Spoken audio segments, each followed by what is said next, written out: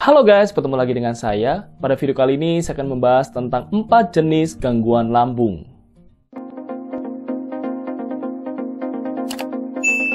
Perlu diketahui bahwa lambung adalah salah satu organ pencernaan yang berbentuk menyerupai huruf J yang letaknya ada di kiri bagian atas perut kita dengan ukuran berbeda pada setiap orang. Nah, lambung ini mempunyai dua saluran yaitu bagian atas yang terhubung dengan kerongkongan atau esofagus dan di bagian bawah yang terhubung dengan usus. Seperti dalam video-video saya sebelumnya, bahwa lambung ternyata dapat mengalami banyak gangguan, mulai dari makanan lah, dari fungsi tubuh, bahkan mungkin ada luka karena bakteri dan lain sebagainya. Nah, untuk memudahkan teman-teman semua, saya akan membahas tentang empat jenis gangguan lambung. Jadi mungkin bagi teman-teman dapat membedakan mana sih yang sedang saya alami, Nah, mari kita lihat sama-sama. Yang pertama adalah gastroesophageal reflux atau singkatan terkenalnya adalah GERD. GERD ini adalah salah satu gejala gangguan lambung yang paling sering saya buat videonya karena saya sendiri pernah mengalami selama 3 tahun gejala GERD ini dan gejala GERD ini ditandai dengan naiknya asam lambung sampai ke kerongkongan kita dengan ditandai rasa panas, heartburn di dada, rasa nyeri dan juga rasanya itu katanya seperti orang terkena serangan jantung. Dan belum lagi ada rasa mulas, ada rasa mual, belum lagi ada juga rasa sesak nafas ya. Karena di dalam klep lambung kita itu ada gangguan fungsi sehingga tidak tertutup sehingga itu asam lambung jadi naik. Nah, penyebabnya bisa macam-macam. Bisa karena bakteri Helicobacter ya, bisa karena juga karena makanan, mungkin juga ada gangguan dalam organ tubuh yang lain. Nah, kita tidak bisa hanya mengobati dengan obat-obatan seperti obat-obatan antasida atau mungkin lansoprazol, omeprazol ya. Itu tidak bisa menyembuhkan karena hanya meredakan. Untuk menyembuhkan gejala gangguan lambung ini, yaitu GERD ini, harus dengan mencari apa penyebab utama dari GERD ini.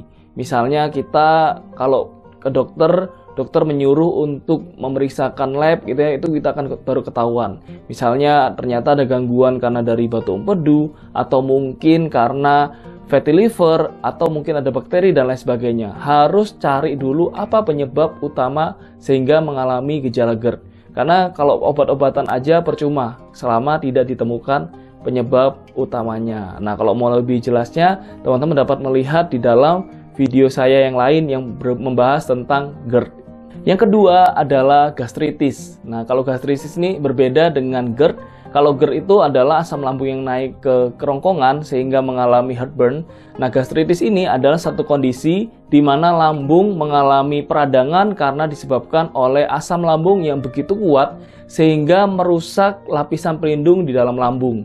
Jadi di gastritis ini gejala gangguan lambungnya terjadi di lambung itu sendiri. Nah, penyebabnya bisa macam-macam, misalnya karena kita mengkonsumsi minuman alkohol atau mungkin karena efek infeksi dari Helicobacter pylori. Nah, kalau dibiarin kalau infeksi dari Helicobacter pylori ini bisa menyebabkan tukak lambung atau luka di dalam lambung kita dan mungkin disebabkan juga obat-obatan tertentu sehingga menyebabkan peradangan lambung. Nah, gejalanya sendiri itu ada bermacam-macam. Untuk pendeteksian awalnya, kita dapat melihat rasa nyeri yang disebabkan oleh gastritis ini berada di bagian atas perut kita. Jadi bagi teman-teman yang mengalami rasa nyeri di bagian perut atas, itu kemungkinan adalah gejala dari gastritis itu, yaitu adanya peradangan di lambung. Kalau misalnya udah naik lagi, itu berarti adalah gejala GERD. Nah, untuk melihat gejala lainnya, yaitu ada rasa kembung, rasa pengen mual, pengen muntah ya, dan juga e, tidak ada nafsu makan. Jadi kalau teman-teman rasa seperti itu terus disertai dengan nyeri di bagian perut atas, nah itu kemungkinan adalah gastritis. Nah teman-teman harus juga cari tahu apa penyebabnya. Tadi ada beberapa ya dari minuman alkohol, dari bakteri atau mungkin obat-obatan tertentu ya. Yang ketiga adalah gastroparesis. Gastroparesis adalah gangguan lambung yang terjadi karena lambung mengalami perlambatan dalam mencerna makanan. Gangguan pada fungsi lambung ini terjadi disebabkan karena fungsi otot-otot pada dinding lambung tidak bekerja secara maksimal, sehingga ketika mencerna makanan tidak dapat mencerna dengan baik. Gastroparesis ini biasanya dialami oleh orang-orang yang mengidap diabetes. Ini biasanya loh ya. Nah, gejala yang umum yang muncul ketika seseorang mengidap gastroparesis ini adalah mengalami perut kram, lalu selalu merasa kenyang dan mengalami mual muntah ketika selesai makan. Nah, bagi teman-teman mungkin kalau misalnya ini dibiarkan atau mungkin orang-orang yang sudah mengalami e, gejala ini cukup parah, itu biasanya akan mengalami berat badan turun secara signifikan. Jadi mungkin bagi teman-teman yang sering kram perut ya, yang sering juga mual ketika selesai makan atau mungkin selalu merasa kenyang dan ini nggak sembuh-sembuh, coba teman-teman cek dulu ya. Misalnya cek uh, gula darah teman-teman. Keempat, dispepsia. Nah, dispepsia ini biasanya terjadi pada kebanyakan orang karena dispepsia sendiri adalah gejala-gejala penyakit yang terjadi pada perut bagian atas. Nah, ini termasuk pada gastritis yang tadi kita bahas ya. Nah, gejalanya adalah perut terasa tidak nyaman. Nah, ini biasanya juga mengalami kembung, perut tidak enak ya, nyeri di ulu hati dan lain sebagainya. Penyebabnya banyak hal ya, bisa saja karena tadi gastritis, bisa saja mungkin ada gangguan pada perut kita atau mungkin bahkan ngalamin namanya itu kanker lambung. Wah, cukup bahaya ya. Nah, kita harus cari dulu penyebabnya dan biasanya bisa disembuhkan dengan mengubah pola hidup dengan pola makanan yang sehat ya. Itu biasanya dispepsia itu bisa lebih sembuh lagi. Nah, biasanya dispepsia ini orang-orang itu sebut dengan istilah sakit mah.